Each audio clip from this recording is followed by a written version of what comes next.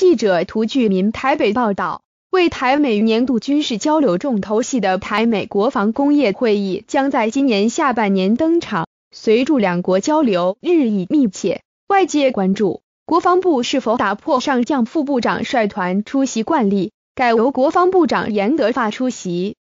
对此，国防部发言人陈忠吉表示，对于部长是否参与，还在评估中。另外，美国众议院通过二零一九年财政年度国防授权法，虽删除美军参加我国汉光演习项目，但仍强调助我国取得防卫性武器等意见。